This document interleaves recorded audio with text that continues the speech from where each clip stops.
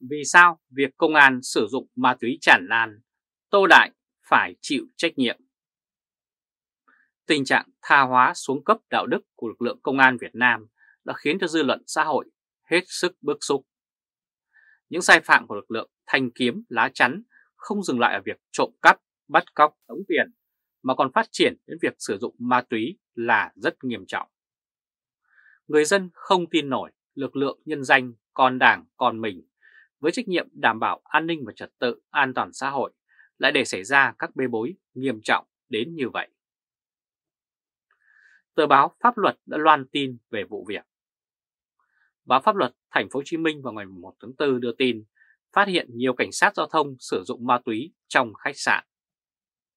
Bản tin cho biết nhiều cảnh sát giao thông đang công tác tại công an quận Phú Nhuận, công an quận 1 và công an thành phố Thủ Đức, thành phố Hồ Chí Minh đã bị phát hiện sử dụng các chất ma túy trong khách sạn. Một nguồn tin của báo pháp luật xác nhận khoảng 2 tuần trước, một tổ công tác công an quận Bình Thạnh trong lúc phối hợp cùng với công an phường 3 quận Phú Nhuận kiểm tra hành chính của một khách sạn thì lại phát hiện nhiều người đang sử dụng ma túy.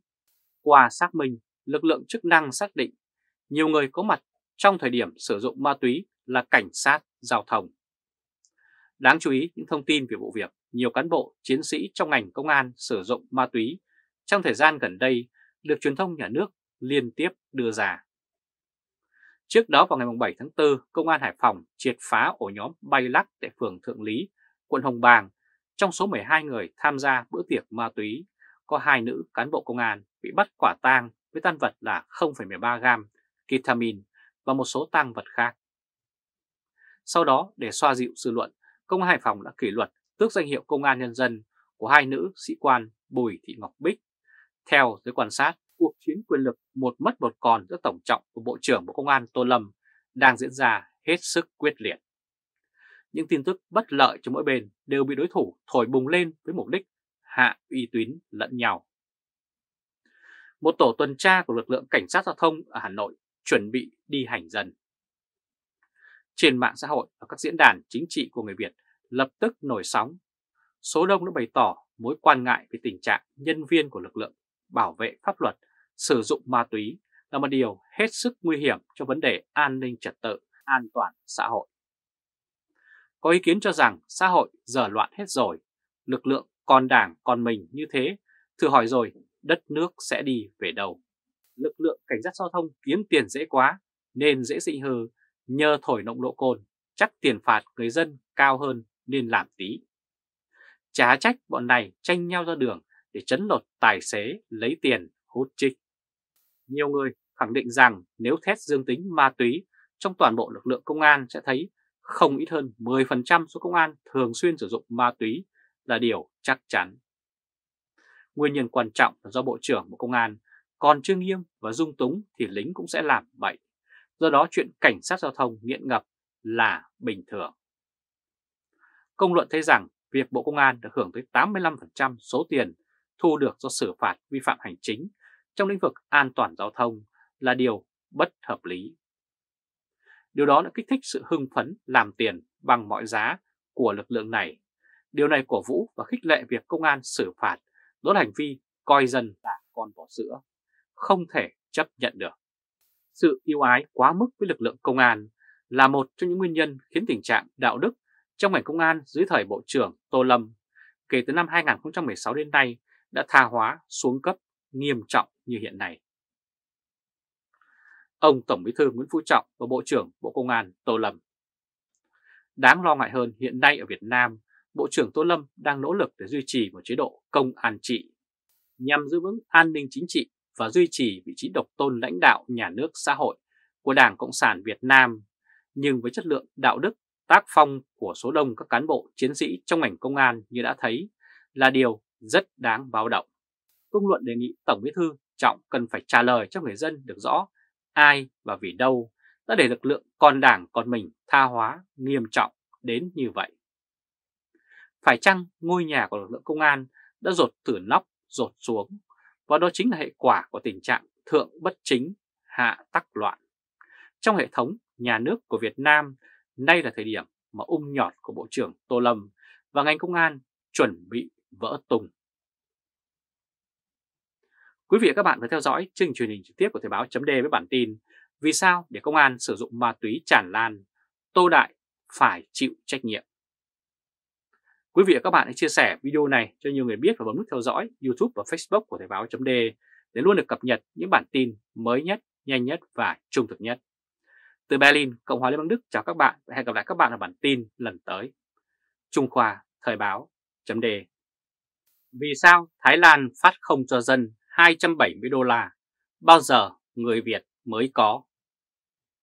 Trong một thể chế chính trị dân chủ đa nguyên, khi có sự cạnh tranh chính trị giữa các đảng phái và cử tri có quyền lựa chọn đại biểu cho mình tham gia nghị trường, thì dân biểu sẽ nỗ lực làm những điều tốt đẹp nhất cho cử tri. Chính trị Thái Lan là một ví dụ. Tuy Thái Lan chưa phải là một quốc gia dân chủ hoàn thiện, nhưng các đảng chính trị ở xứ Chùa Vàng vẫn luôn nỗ lực đưa ra các chính sách mang lại quyền lợi nhất cho người dân để lôi kéo sự ủng hộ của họ. Tờ báo Tuổi Trẻ đưa tin Thái Lan phát tiền cho người dân. Tờ báo Tuổi Trẻ vào ngày 10 tháng 4 đưa tin Thái Lan phát 14 tỷ đô la cho người dân để kích thích phát triển kinh tế. Bản tin cho biết hãng tin Bloomberg đưa tin Hội đồng đặc biệt phụ trách chương trình ví tiền điện tử của Thái Lan đã thông qua phương án cấp vốn này. Theo đó, 50 triệu công dân Thái Lan trưởng thành từ 16 tuổi trở lên sẽ được phát 10.000 bạt, tương đương khoảng 275 đô la Mỹ để mà chi tiêu cho một số lĩnh vực nhất định từ quý tư năm 2024 với mục đích kích thích nền kinh tế. Kế hoạch trao tiền cho người dân theo tờ báo Bloomberg là một trong những chương trình mũi nhọn trong chương lĩnh tranh cử của đảng Pay Thai, tức là đảng Vì nước Thái. Đảng chính trị lớn nhất trong liên minh cầm quyền ở Thái Lan hiện nay. Kỳ bầu cử này diễn ra vào tháng 5 năm 2023. Phil Thai là đảng chính trị của cựu Thủ tướng Thaksin mà con gái ông cũng là Thaksin Shinava đang là đương kim chủ tịch của đảng này. Trong quá trình vận động tranh cử, đảng Phai Thai đã hứa hẹn sẽ cho vay tiền trong chương trình kích thích kinh tế của chính phủ. Tuy nhiên, kế hoạch trên đã bị các đảng phái đối lập và một số chuyên gia kinh tế cũng như Ngân hàng Trung ương Thái Lan phản đối kịch liệt với lý do chính sách này có thể thổi bùng lạm phát và làm leo thang nợ công. Bên cạnh đó, Tòa án Hiến pháp Thái Lan cảnh báo chính sách này có thể vi phạm việc dùng tiền để mua chuộc củ chi trong luật bầu cử tại Thái Lan. Nhưng đảng Phu Thai khẳng định đây không phải là chương trình hỗ trợ tiền cho người dân nghèo như cáo buộc, mà chương trình này nhằm bơm tiền vào nền kinh tế để kích thích sự phát triển của đất nước. Bộ Tài chính Thái Lan đánh giá kế hoạch này sẽ làm tăng GDP lên từ 1,2 đến 1,8%, đồng thời nó cũng đưa tốc độ tăng trưởng kinh tế của Thái Lan trong năm 2025 tăng lên mức gần 5%.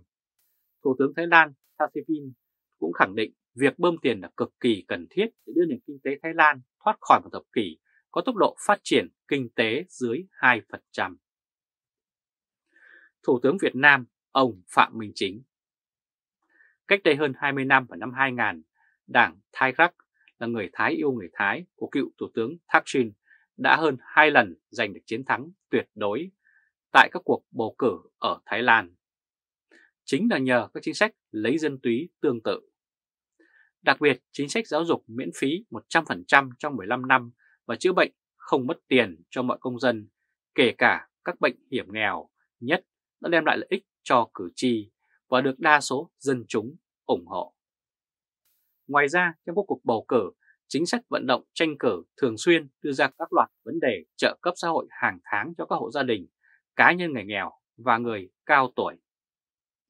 Trẻ em Thái Lan từ 3 tuổi trở lên khi đến trường công được miễn phí toàn bộ trong 15 năm, gồm 3 năm mẫu giáo và 12 năm phổ thông.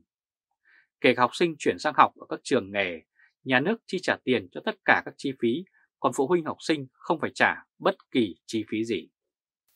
Tương tự về y tế, mọi công dân Thái Lan đều được chữa bệnh miễn phí 100% theo yêu cầu. Khi công dân Thái đến khám chữa bệnh ở các cơ sở y tế công lập, chỉ cần mang theo căn cước tức là ID thì không phải trả tiền. Thuốc men do bác sĩ chỉ định cũng được cung cấp miễn phí. Với chính sách này, Đảng của cựu Thủ tướng Thaksin đã thuyết phục không chỉ người dân nghèo mà cả tầng lớp trung lưu ở Thái Lan. Trong vòng chưa đầy 5 năm, đảng này đã trở thành một trong hai đảng lớn nhất trong chính trường tại Thái Lan. Ông Tổng Bí thư Nguyễn Phú Trọng của Việt Nam Kể từ đó đến nay, tất cả các chính sách chính phủ Thái Lan, kể cả chính quyền quân nhân và các cuộc đảo chính cũng không dám bãi bỏ hai chính sách về giáo dục và y tế kể trên. Chuyện an sinh xã hội ở Việt Nam hiện nay nếu so với Thái Lan thì vẫn là câu chuyện đáng thất vọng. Hai vấn đề lớn nhất là giáo dục y tế vẫn là gánh nặng với người dân cả nước, chiếm tỷ trọng lớn trong thu nhập của các phụ huynh học sinh tại Việt Nam. Dẫu rằng Việt Nam vẫn nhân danh là nhà nước xã hội chủ nghĩa, nhưng họ không duy trì miễn phí giáo dục và y tế như Cuba hay Bắc Hàn.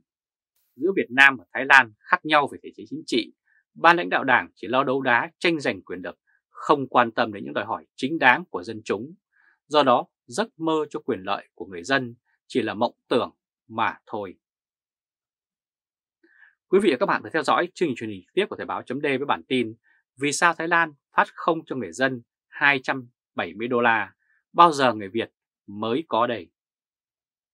Quý vị và các bạn hãy chia sẻ video này cho nhiều người biết và bấm nút theo dõi YouTube và Facebook của Thời báo chấm để luôn được cập nhật những thông tin nhanh nhất, trung thực nhất từ Berlin, Cộng hòa Liên bang Đức. Chào các bạn và hẹn gặp lại các bạn vào bản tin lần tới.